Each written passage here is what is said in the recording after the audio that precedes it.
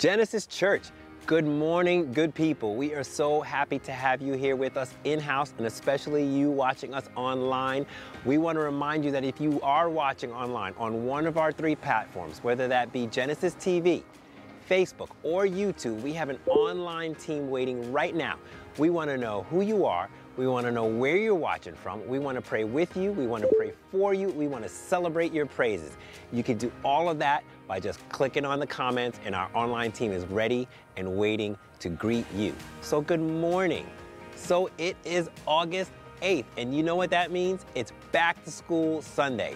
And I don't know, but I hear you parents cheering in the background. Some of y'all are ready to get rid of those kids and get them back to school. Or you homeschool parents, we're with you in prayer as well. And so it's Back to School Sunday here at Genesis Church, but it's also the beginning of a brand new series, Hold the Line. And so we are so excited to hear from Pastor Tim. It's been a while since we've heard from him, but he's back and we're going to hear from him today as we launch our new series, Hold the Line. Like I said, it's Back to School Sunday, and we have two back to school events that actually end today. The first is our back to school double up drive, and we have been asking you to help us gather some items for some schools, some parents, some kids, and some teachers in need. And that ends today. So even if you're not joining us in church, you can still show up before church ends with some items. But if you are planning on coming in, then this is the last opportunity for you to double up and bring in those back to school items that are gonna go to great use. Our other event that ends today is our Back to School Brazil event, where we are asking 13 people to contribute $80 a month for the next five months. You can get on a recurring, um, recurring giving, or you can give all at once, that's $400. Both of the information for those events can be found at our What's Happening page at genesischurchorlando.com. But we're still not done. We want to remind you that this Wednesday is Genesis Night at Straight Street. And I know a lot of you, your heads are exploding. You're going, this Wednesday, it's also the first day of school. And we know, but we've simplified the menu. It's simple, baked ziti. That's what we're serving and we still want you to come out and join us. So August 10th, again, Baked Ziti is the menu. Information can be found at the What's Happening page at genesischurchorlando.com. We want to remind you how important it is because you are helping to feed the homeless and hungry in our city. And so that doesn't take a back seat. That doesn't go away when we have other things going on. And so this Wednesday, yes, August 10th, first day of school for many, is also Genesis Night at Straight Street, but we need your participation. So please, please sign up. And then next up we have to bat is Growth Track. A lot of folks have been brand new to our church since the last time that we've had Growth Track. And Growth Track is an opportunity for you to learn more about us and to learn about how you can be a part of all of the things that we have happening at Genesis Church. And so that's August 28th at 4 p.m. at the Ministry Center. You can actually head to genesischurchorlando.com and register at the Growth Track card. So right after the What's Happening page, is the Growth Track card, and that's where you go to sign up if you haven't participated in that yet. Maybe you've been coming for a while and you're ready to consider membership. Growth Track is where you want to do that. And it almost skipped my mind, but I got back. I rallied. I rallied, folks. August 14th, that's next Sunday, is our back to school event for middle school and high school. That's at 6 p.m. here on campus for middle school and high school students. It's superhero themed. I don't know what that means, but you can find out the details on the Genesis Students Orlando Instagram page, all right? That's where all that information is. But again, our middle school and high school students are gathering together. It's the first event of the school year. It's August 14th, 6 p.m., right here on campus. Superhero theme. Get in or you miss out. That's all I can say about that. Well, we are happy to have you here with us today, as per usual. Like I said, we're launching a brand new series called Hold the Line. It's something that's going to be important for all of us as we're stepping into that new season of life with back to school, with schedules, with everything else. Pastor Tim's going to be kicking it off in just a few minutes. So ready your minds, ready your hearts. Genesis Church begins in five, four, three, two, one. Let's go.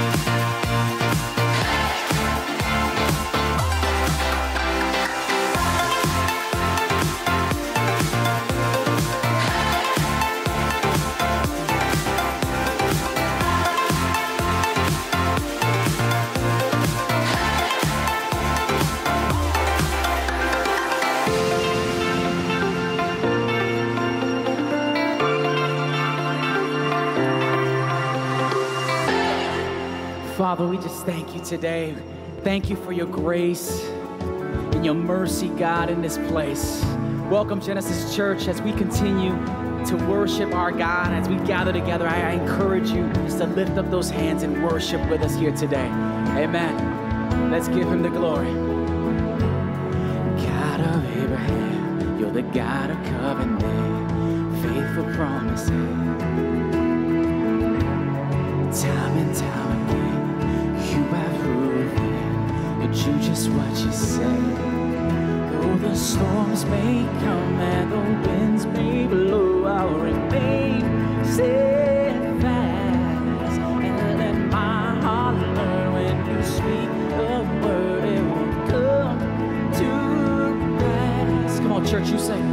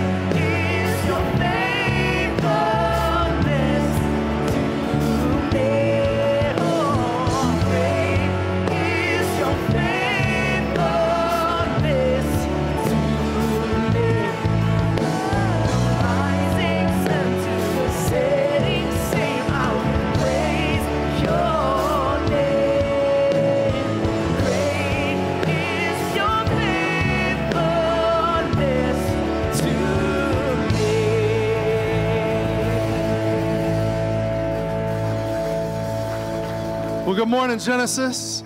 I'm going to ask you to do me a favor. If you'll just grab a seat real quick. So, welcome to, uh, to church this morning. We're so excited that, uh, that you are here, that you've chosen to worship with us. So, uh, if you're in house today, um, I'm going to ask you to do something. So, this week for, um, for a lot of people is, is a really big week. So, uh, on Monday or Tuesday or Wednesday, this week, there's going to be a, a, lot of people that are starting a new schedule and a new routine. And so, uh, what we want to do today is we just want to kind of pause and we want to ask any educator that is in the room. So, if you are a teacher, if you are part of administration, if you work in a school in any capacity, or maybe you're a homeschool parent this morning, if you would do me a favor, would you just stand to your feet? Anybody in here like that? Okay. Amen. Yes. Can we make some noise for our educators? Stay standing. Stay standing. Got the tambourine coming in this morning. So listen, this is um, this is a big week. This is a big week for you guys, and uh, some of you you're going to uh, you're going to be taking a step into a place that you've not done before. Some of you are re-entering a place that you've been before, uh, but you have an opportunity this week to uh, to begin to make an impact in the lives of, of students. And so, what we want to do as a church is we want you to know that we love you, that we are specifically praying for you this week. We know that this week can come with a lot of, of excitement, a lot of anticipation, but we also know that there could be a hint of fear as well about what's getting ready to happen. And so, as a church, we just want to take a moment and we just want to pray with you, pray for you, pray over you this morning. So, if you are standing, I encourage you stay standing. If somebody around you is standing, if you could do me a favor, would you just, if you know them, would you just maybe put your hand up on their shoulder, on their back? If you're standing by somebody, maybe grab their hand. If you don't know them, would you do me a favor? Would you just reach your hand out to someone around you that's standing?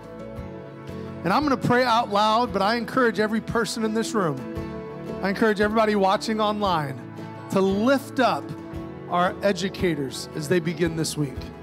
Would you pray with me, dear God? Lord, we love you. God, we thank you so much for the men and the women that are standing.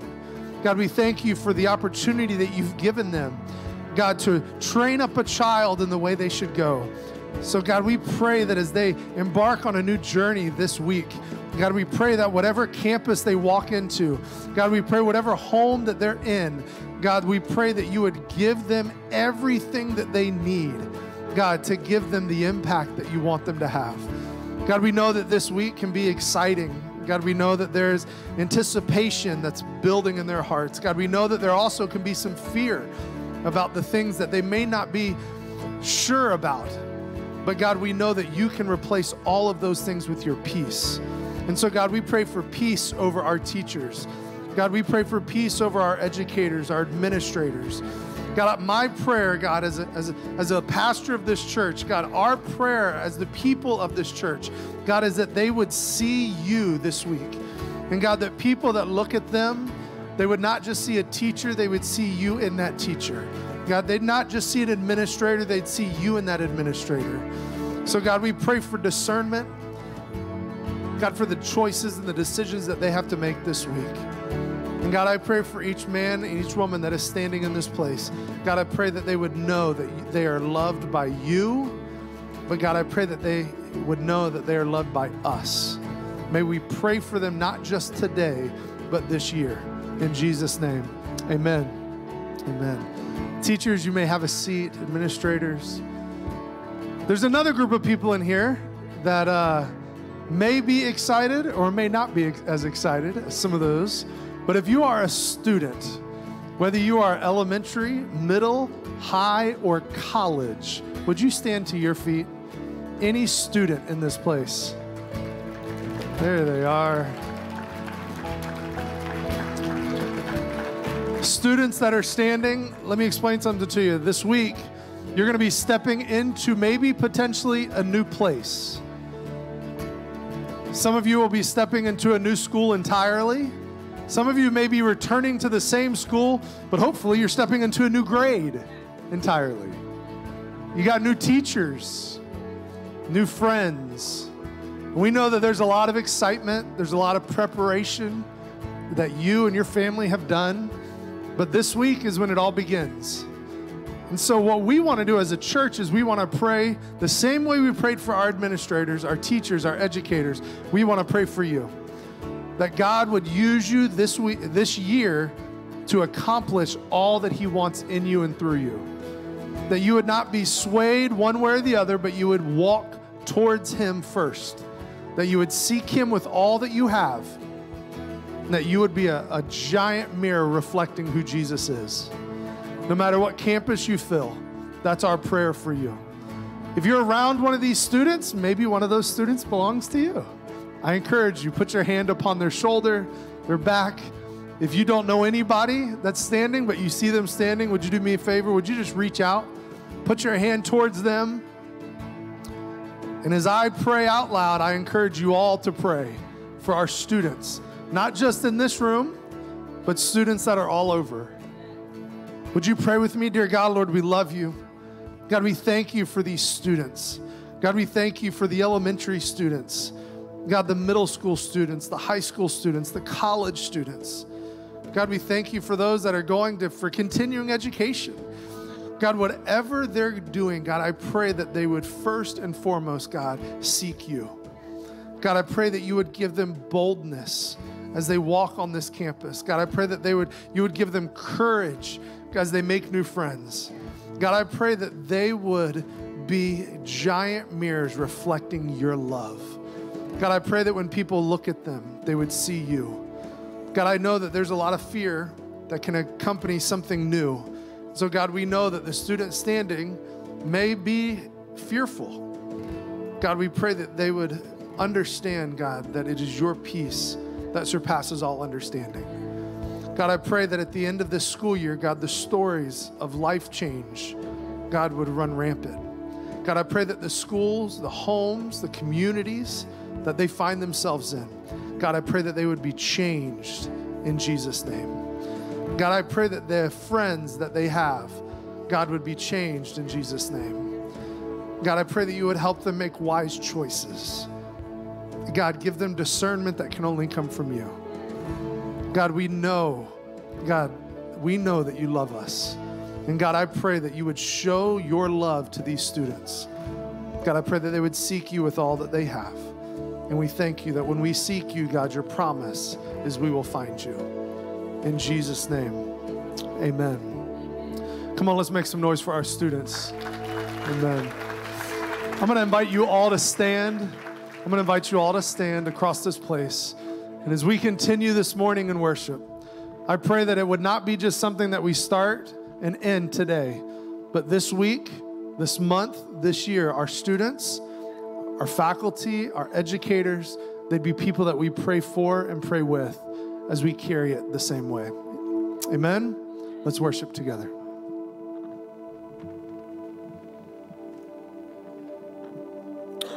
Exalt you, Father God. We lift up your name today. Holy is your beautiful name. Thank you, Jesus.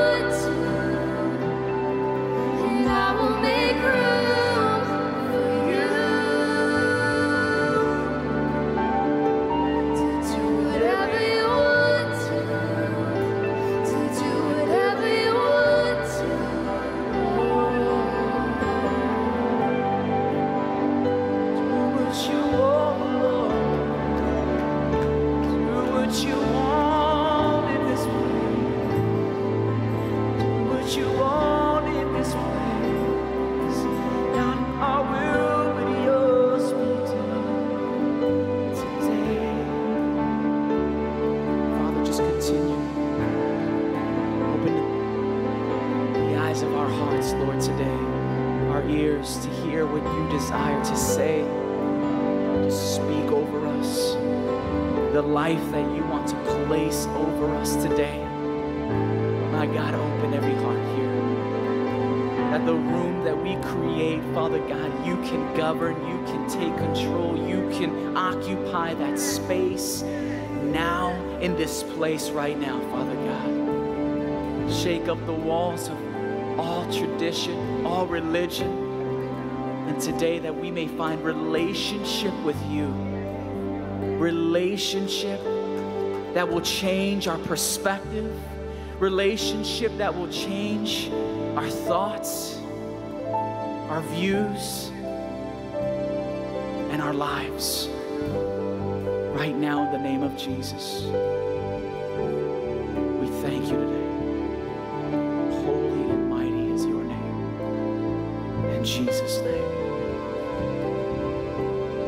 You your attentions to the screens as we continue service.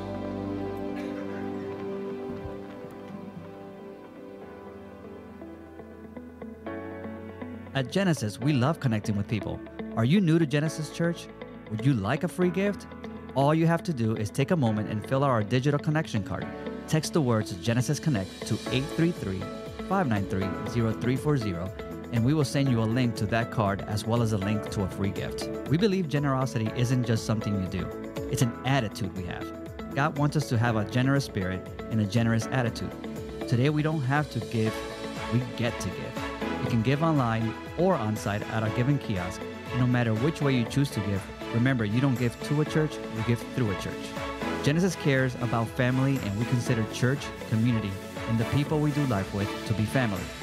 We serve our family by providing dinners for families with ministry meals, serving the homeless with Straight Street, or partnering with Commission 127 to serve families in the foster system with Families First and Care Portal.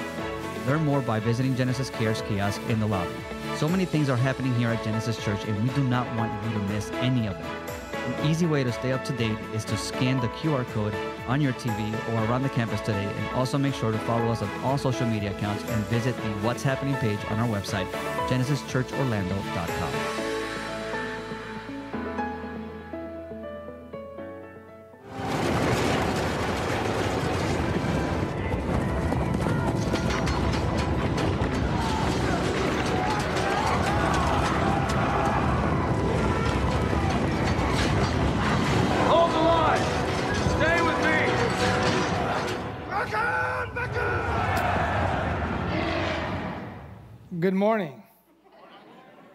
Now, before we get started, we had to do this in the first service.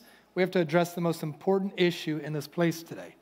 And that is the fact that Chad dressed exactly like me again. We're going to have to call each other and say, What are you wearing now on Saturday night?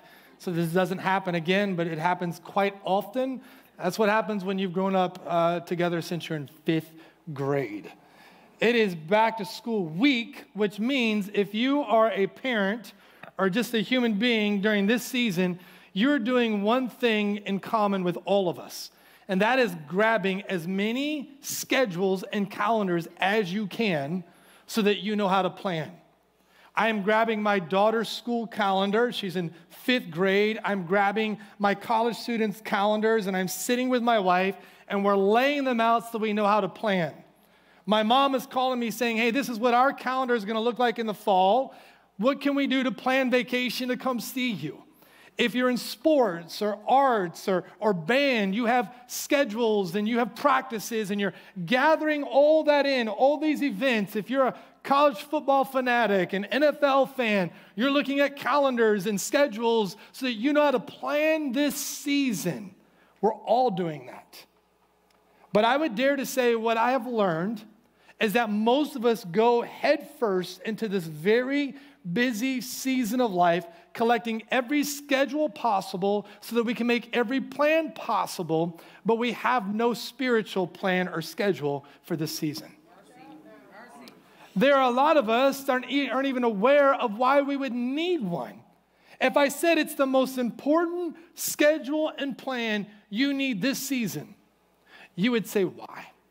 Like, I have a hundred other things to think about. Why would I think about that? And if I did, what would that even look like? And why do I truly need one? Well, Paul writes in this letter we're going to look at in a little bit, and he says that you are in a battle against something that is trying to disrupt and destroy your life. And if you do not have a plan and a schedule and a strategy in place for how you're going to face this battle, you are going to fall flat on your face in this season.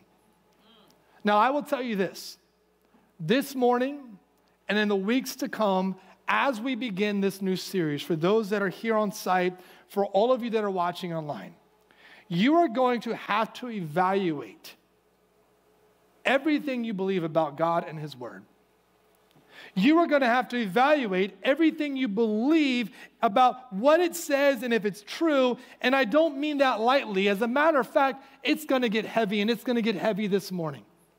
Because you are going to be forced to evaluate what you truly believe about good and evil, light and darkness, angels and demons, the devil himself, and if there's a heaven that I believe in, then there's also a hell.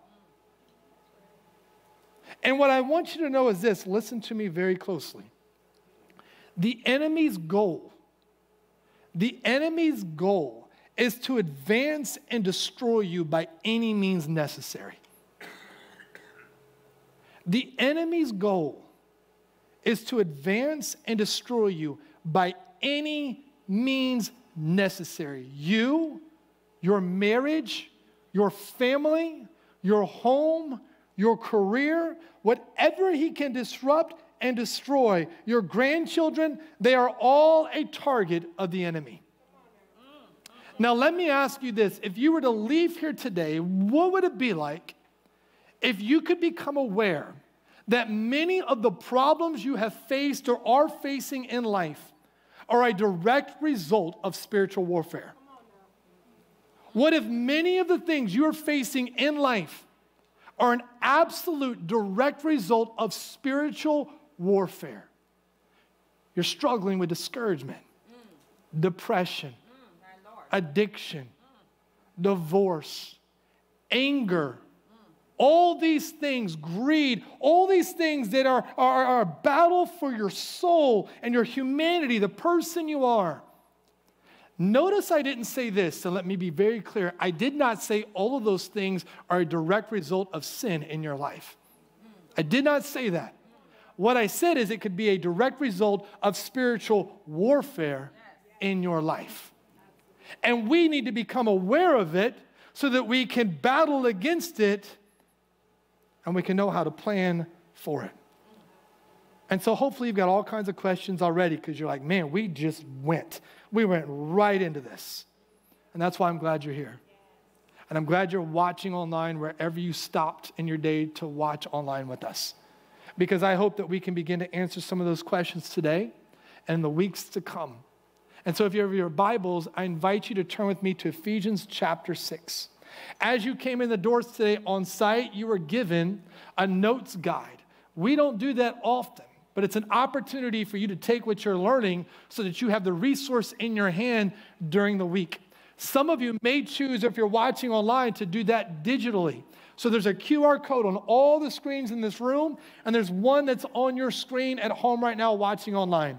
I encourage everyone to take out your phone and take a picture of that digital QR code because it will take you to a link tree that has a bunch of resources so that you have other things to take what you are learning with you throughout your week. There's a battle plan for prayer. There's a battle plan for worship playlist in your house. There's a battle plan for your family. Today in the lobby, there is a kids devotional guide because what we're talking about goes from kids all the way to you adults in here. We paid 10 bucks for these. I think they're selling them just for $10. We just pre ordered them so that you could get them today if you wanted to. If not, the link is on that QR code. You can get the Kindle version, you can get one delivered to your house so that you can go through this with your kids. But Paul writes this in Ephesians chapter 6, starting in verse 10.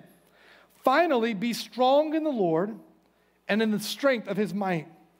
Put on the whole armor of God that you may be able to stand against the schemes of the devil. For we do not wrestle against flesh and blood, although you may think that's the battle you're in right now, but against the rulers, against the authorities, listen to this, against the cosmic powers over this present darkness, against the spiritual forces of evil in the heavenly places. Many of you might say, What are we doing and why are we talking about this?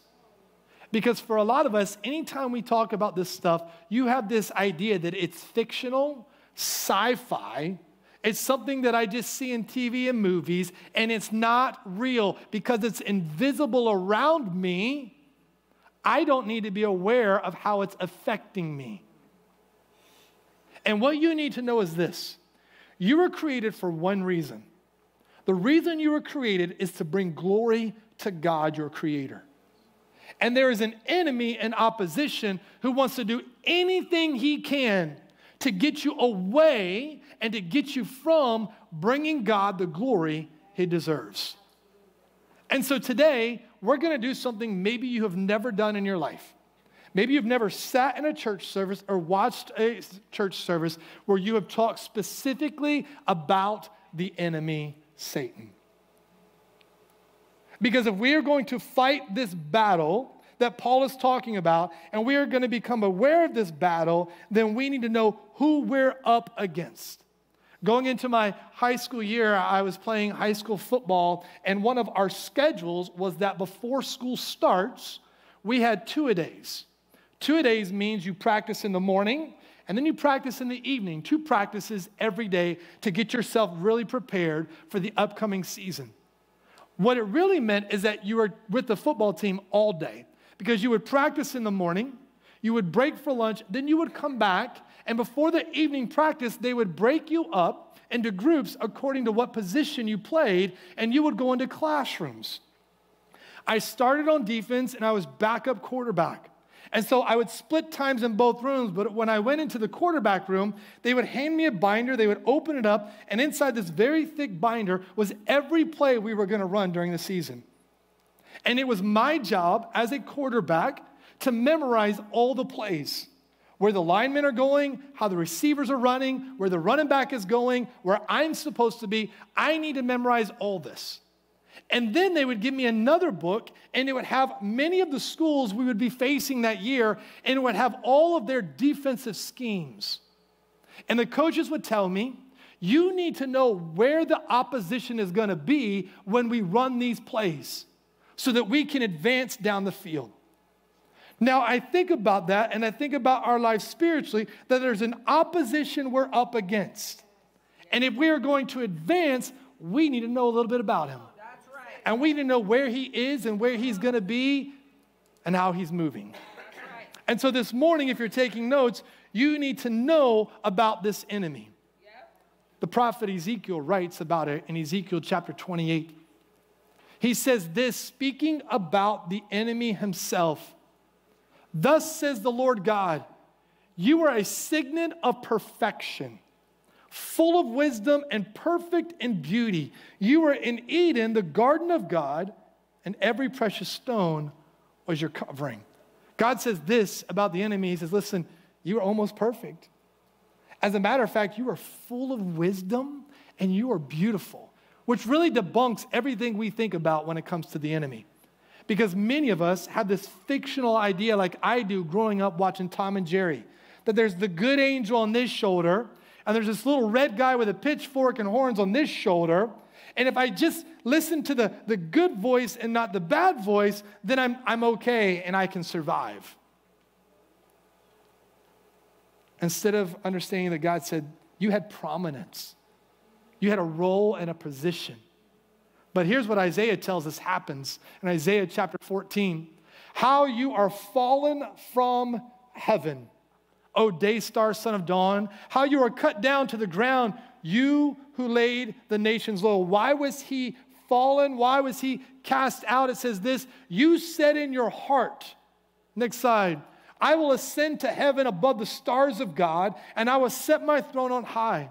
And I will sit on the mount of assembly in the far reaches of the north, and I will ascend above the heights of the clouds. I will make myself like the Most High In essence, Satan said, Listen, hold on a second. I've got prominence, I'm full of wisdom. As a matter of fact, I'm beautiful, I'm good looking. Why is everyone worshiping you? They should be worshiping me. And so God says, Hold on. There's only one creator. And he's the one that gets all the worship and all the glory and all the honor. You're not doing that. And he casts him out. Now, the enemy has many different names in the Bible. Some of them you're aware of, some of them you've never heard before. The word devil appears over 30 different times in the scriptures. The name Satan appears over 50 times.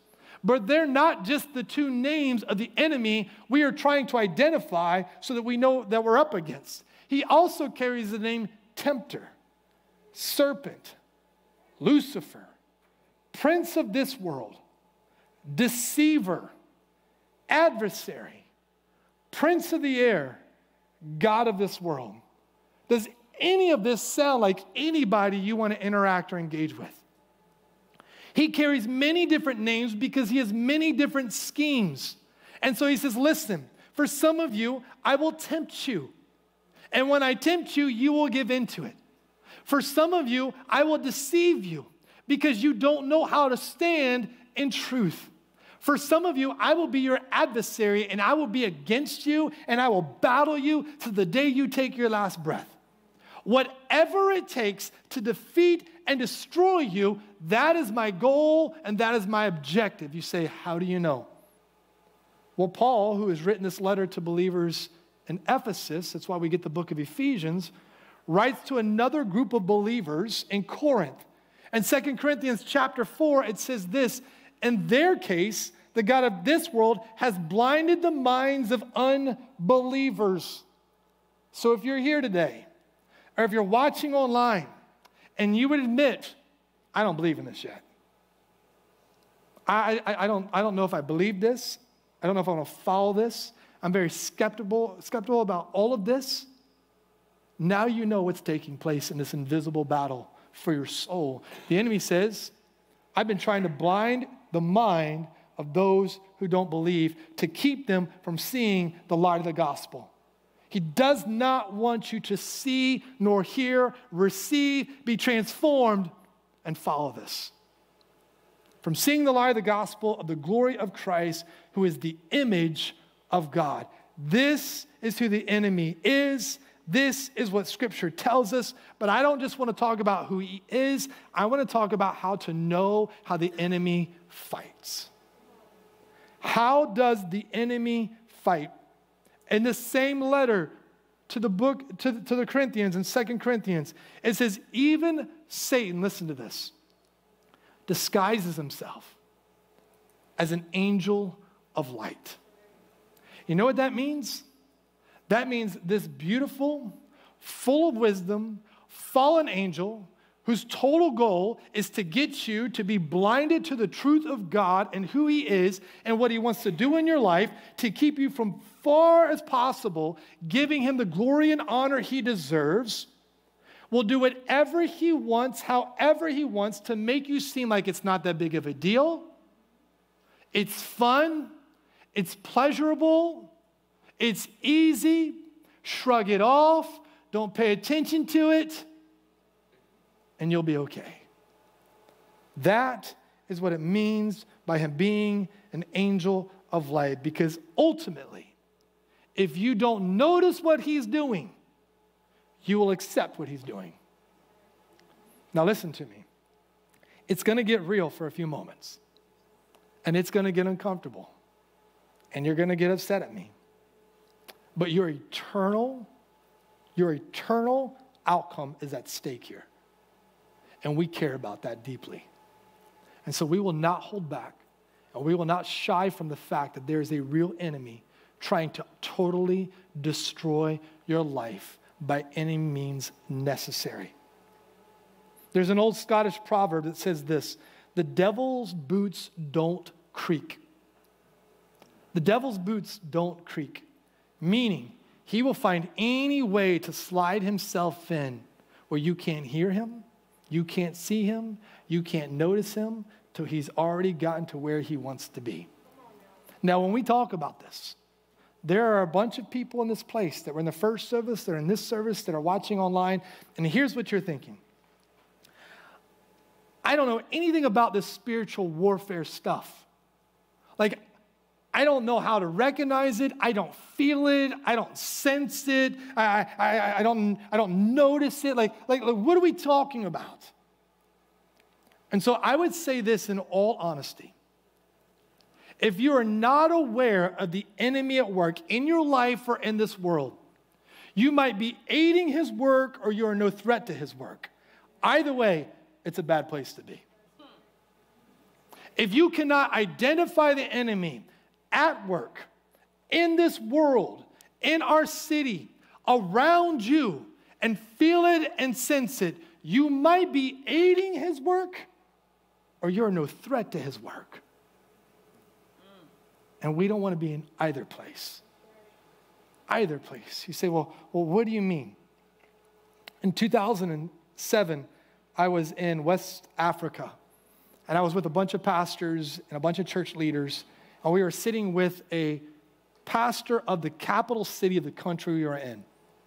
And he was telling us this crazy story about how a bunch of people from the town brought in this demon possessed man and knocked on the door and shoved him in their home. And how him and his wife prayed over this demon possessed man and released him of this demon, bathed him, clothed him, sent him out. And a few hours later, the people came knocking back on the door and they were asking all types of questions. This demon possessed man we just gave you came out completely free and changed, and we want to know what happened. And he was able to invite them all in and share the power of God with them. And so we're sitting with this leader, and he's telling us about all these types of stories like this that are happening in villages all around him. And one of the pastors speaks up and he says, How come you have all these stories like this here in this country, and we don't see nor experience them in America? And this very wise pastor of the capital city said this to us. He said, The devil is wise and works in various ways. In the West, America, he doesn't need demons to expose themselves because he has used distraction to do his work and it's easy for him. So over there in America, he's already getting to do what he wants to do because he just distracts you as if the battle isn't real. And because you don't think it's real, you actually allow it to happen.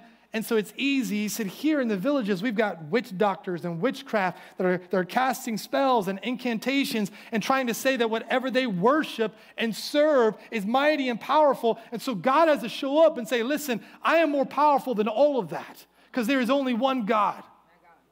But over in America, Satan has schemes and it doesn't mean he doesn't do that, but he doesn't need to do it as often because you're all blinded by the distractions all around you. And most of it comes in the way that you allow the enemy into your life or in your home, and you're not even aware of it. You say, Well, what do you mean? Well, a few months back, I was talking about this show named Lucifer that you can stream on a streaming network that has streamed for five full seasons. It has an 88% like on Rotten Tomatoes. It tells us that this series alone is the number one ranking streaming original series of all time. Over 18 billion minutes have been viewed across its 93 episodes. It is a TV show literally entitled this is the enemy. And if I can get all of you in America to go, it's just a TV show.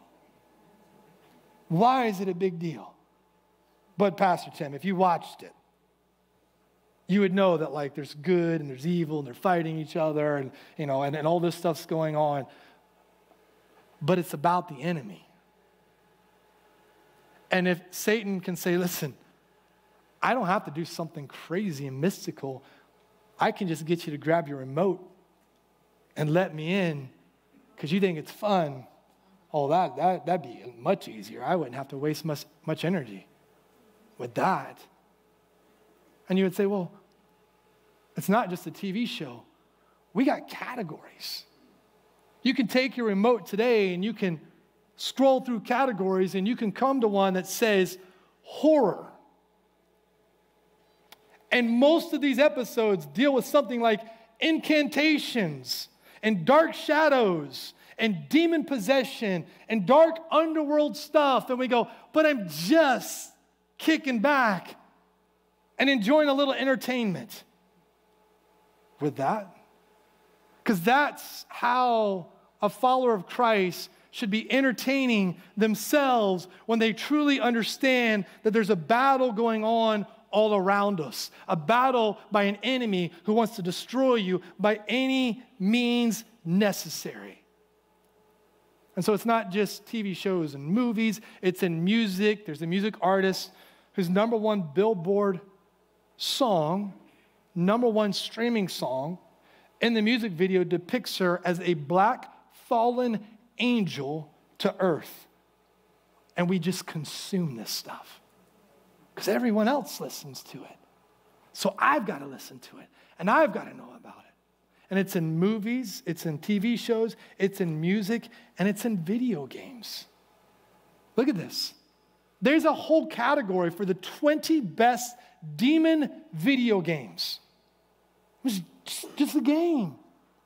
Like, I'm the good one beating all the bad stuff.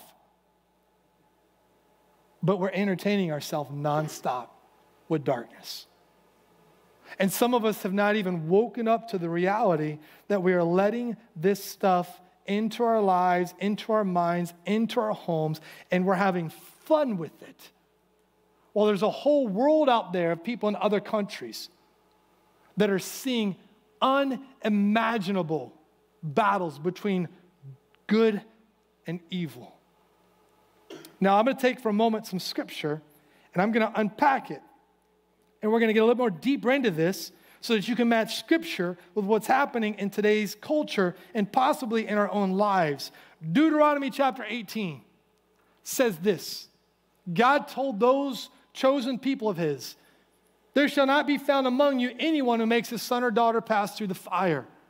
Anyone who uses divination or practices witchcraft, or one who interprets omens or sorcerer, or one who casts a spell, or a medium, or a spiritist, or one who calls upon the dead.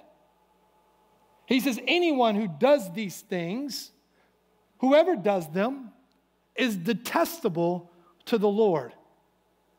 He says, I don't want you messing with anything that fools around with darkness and evil.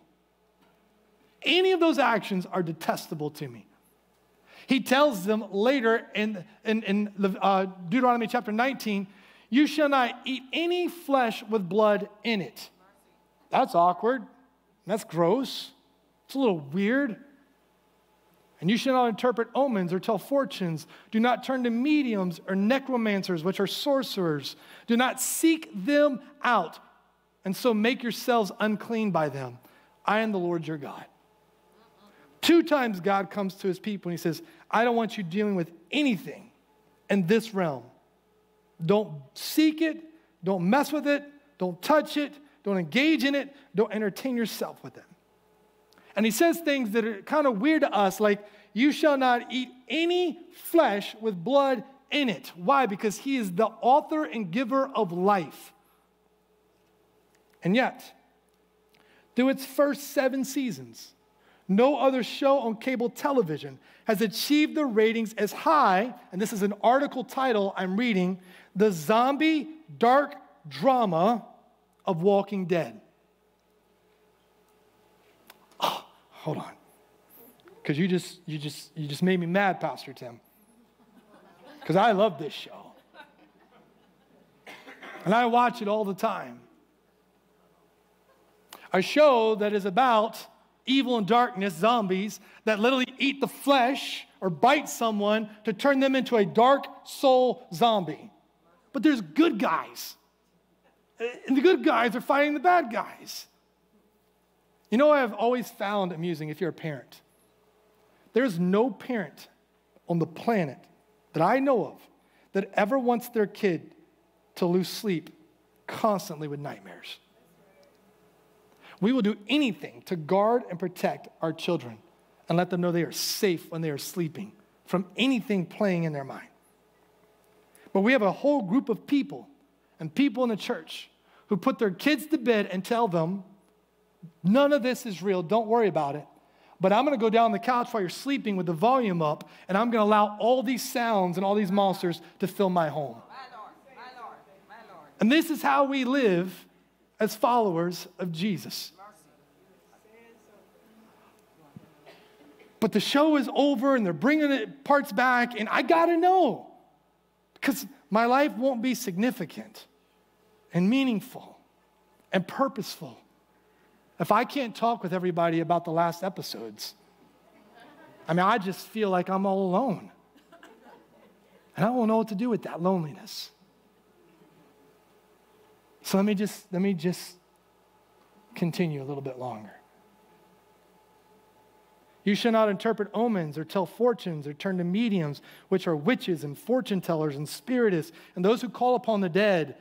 Yet we watch all kinds of paranormal shows and activity of people calling upon the dead, and we get amused by it, and we get intrigued by it, and we're curious by it. And the fastest growing religion in today's society is Wicca and New Age. As a matter of fact, the number of witches are on the rise dramatically in our country as millennials reject Christianity. I didn't write that, Newsweek did.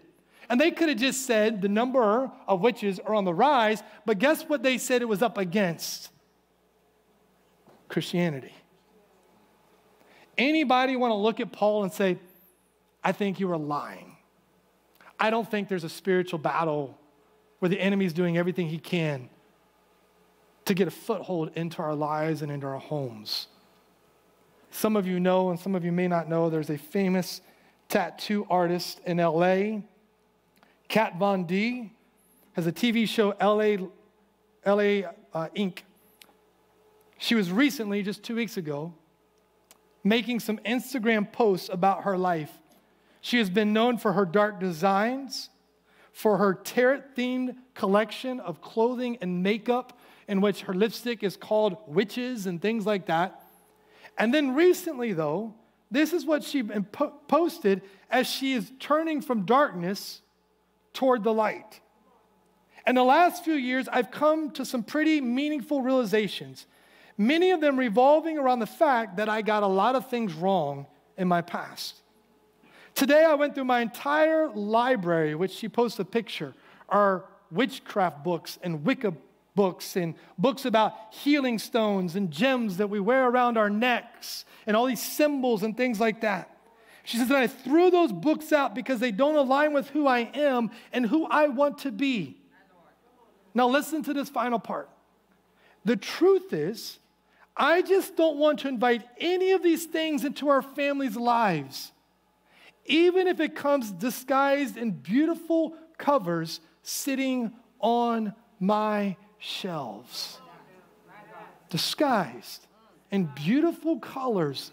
Hmm, who would be willing to do that? The angel of light.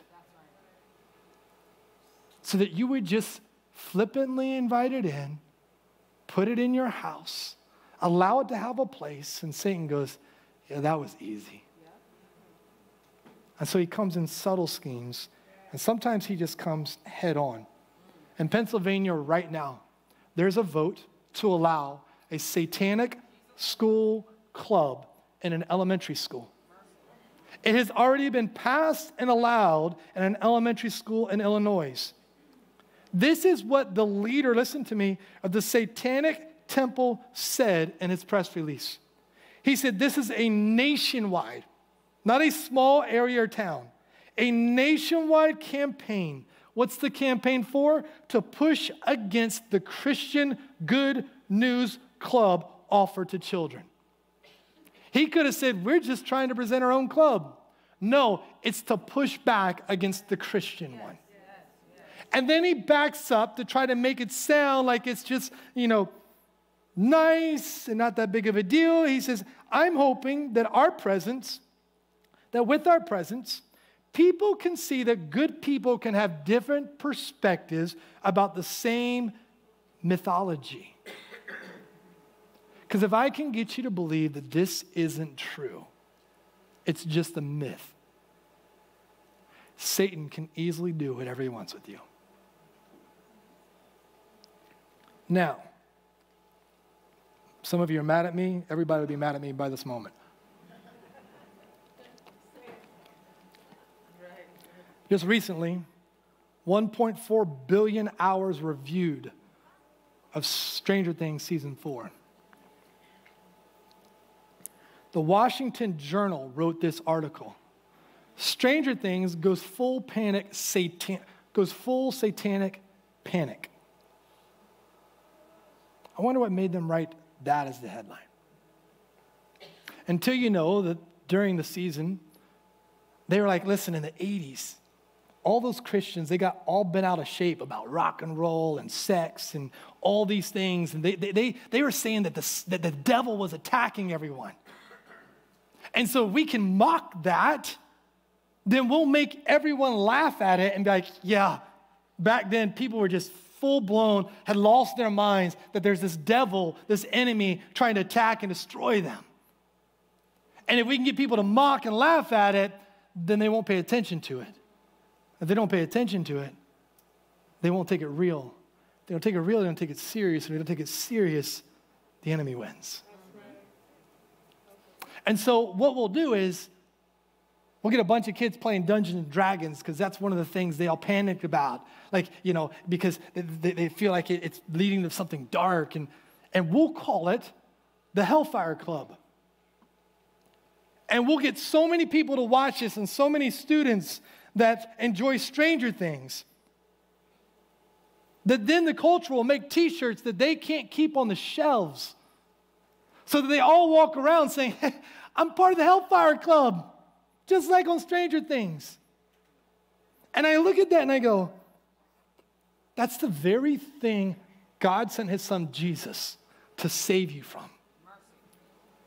And we want to walk around because we want to pledge our allegiance to Stranger Things and say, hey, I'm part of the Hellfire Club, instead of I'm part of the God of this world, creator of the universe, rescuer, savior, redeemer, the only one that can transform, renew, and change. I belong in his club. And I'm not giving a foothold to the enemy. You are either aiding or no threat if you are not aware of how the enemy is working right now. And there are a lot of you that will go, Yeah, but listen, I spent days watching the first three seasons. Gotta know what happens at the end, or my life isn't complete. And yet, the very producers themselves, the producers said, we had to go darker because the kids got older. This is no more Ghostbusters and Goonies. That 80s nostalgia that we kind of liked about it. They tell you we're going darker. Okay, now I know what you're after. And I know who I'm up against. And I know what I've got to do. You got to know the enemy, you got to know how he fights, and you got to know when the enemy attacks. And if you're taking notes, I'm just going to hit these.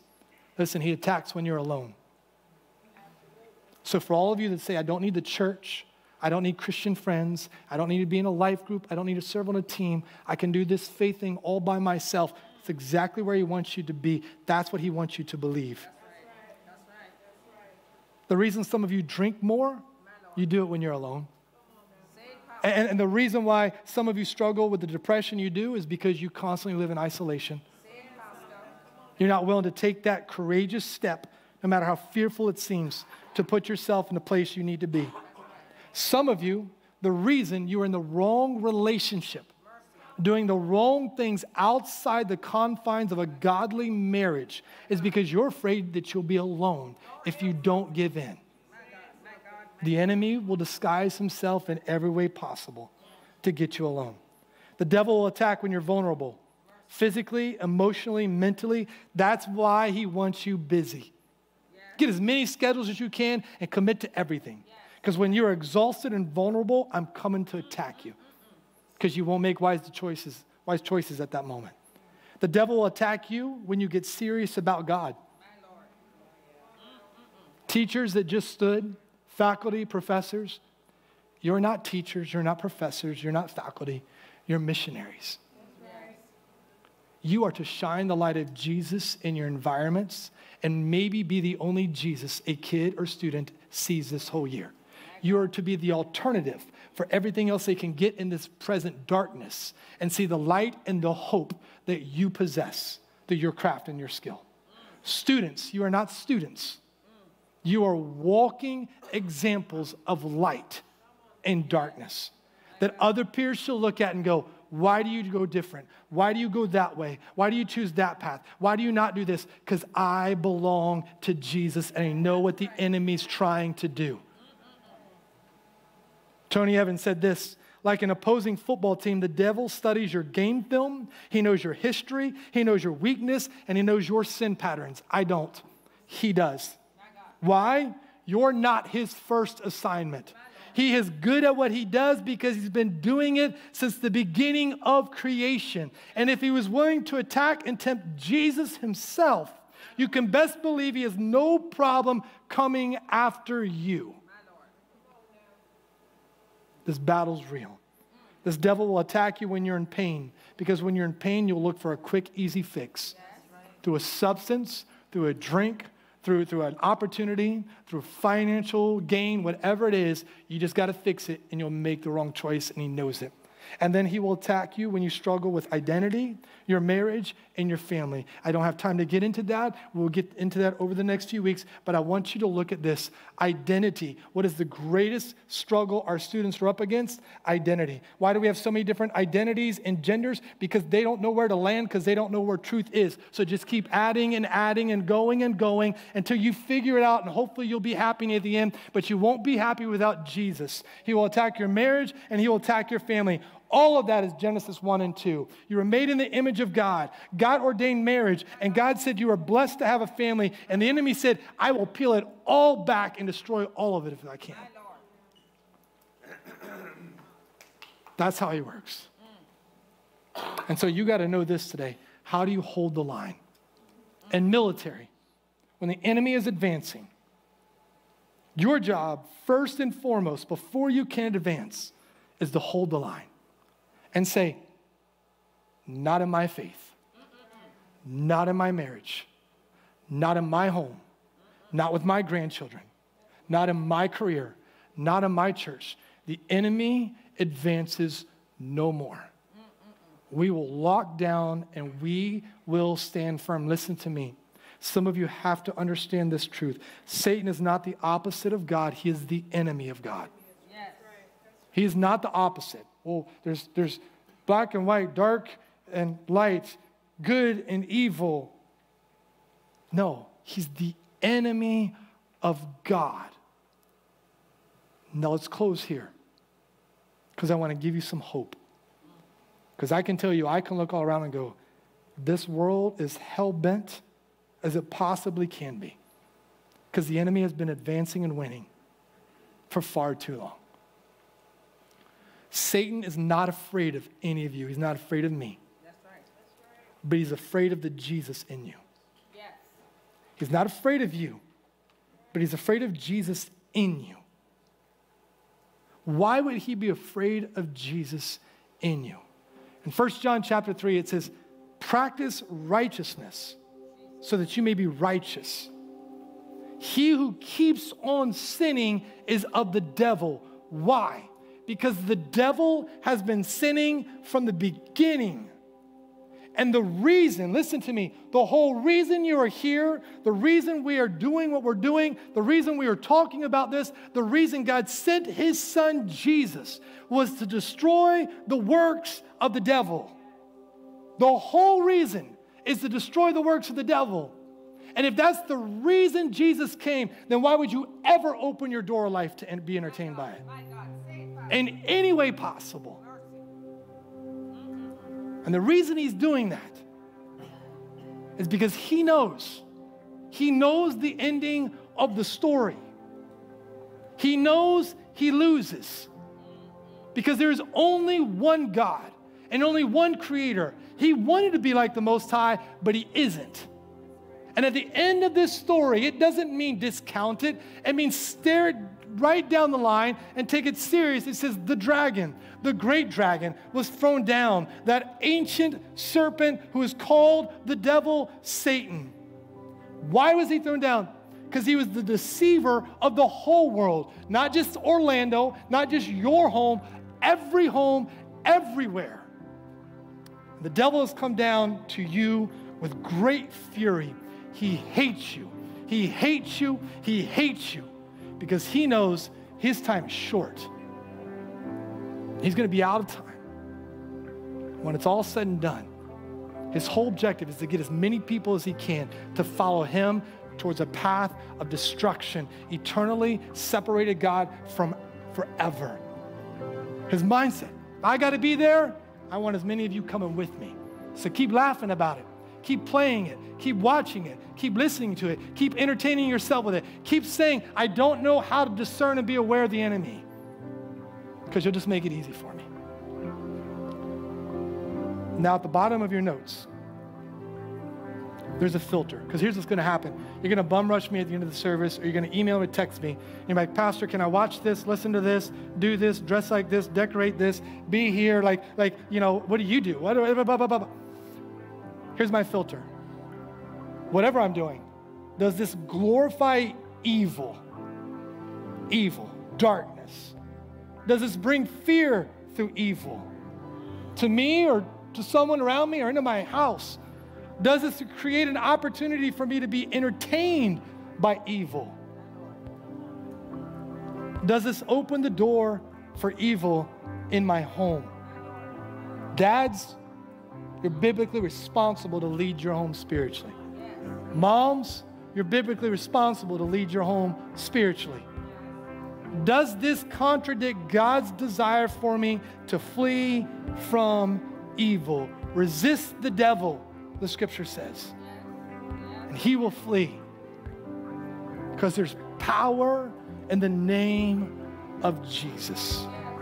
Know the enemy, know how he's fighting, know how he will attack. Hold the line. Now, here's what we're going to do to end out the battle line has been drawn.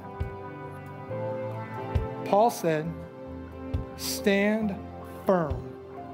Stand firm. Do not let the enemy advance.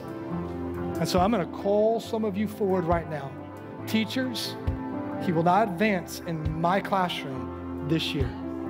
Moms and dads, he will not advance in our home. Husbands and wives, he will not advance in our marriage. Those of you that are dating, He will not advance in our relationship. It will be clean and pure to honor God, so this faithful God will honor us. We are drawing the battle line to say we will stand firm in our faith. This will be a church that will lock arms. We will fight this battle. We will face it head on. We will say, You will not entertain us. You will not get a foothold here. You will not get to make us take you easy or lightly or to bring you in to laugh at it, to scoff at it. We're sending you out the door. For we will stand firm in our faith. And some of you, listen to me, some of you better not leave this place today till you repent. And I know that sounds harsh to some of you. Just say, God, I didn't take this battle serious. And I can see where the enemy has gotten into my life or into my home.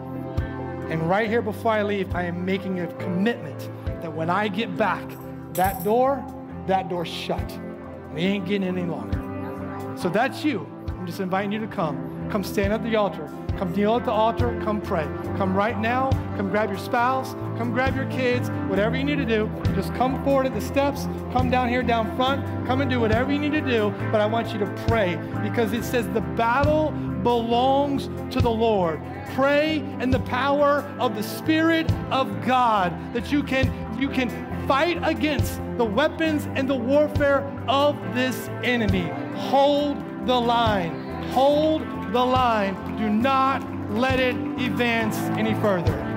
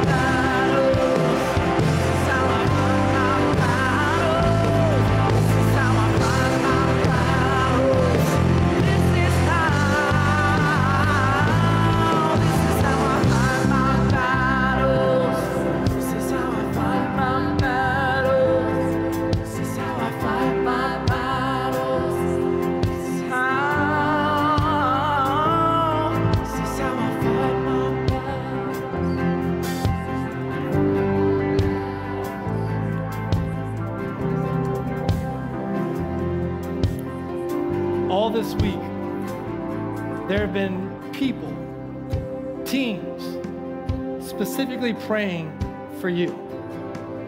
All this morning, some of my own family members that don't live here knew what we were going to be discussing and said, We're dialed in praying because we know that when you talk about the enemy, he doesn't like it.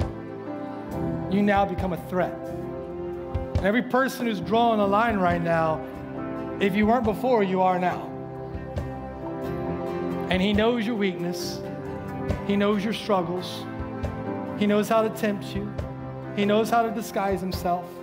He knows how to do whatever he needs to do to get himself a foothold in your life, in your home, in your marriage, and in this church. And we are seeing, starting this season, this year, when we talk about lacing them up, this is what it means. There's a battle, and we're going to fight it. We're not going to shy away from it. We're not going to cower back. We're not going to address it. We're going to meet it. Because we know the greater is He that is in me than He that is in this world. And so may you today know this. May you know and be aware more than ever before that the enemy is alive and active, looking to kill, steal, and destroy. May you know that you have an advocate, the very Spirit of God living in you, that He is terrified of. Because it's the Spirit of the living God who is greater than Him, whom He knows the ending story to. May you go home today and remove things that you've allowed the enemy and aided the enemy into your home, into your life, into your mind, into your heart, enter entertaining you. And may you, with all of us, hold the line. Grace and peace. May God be with you.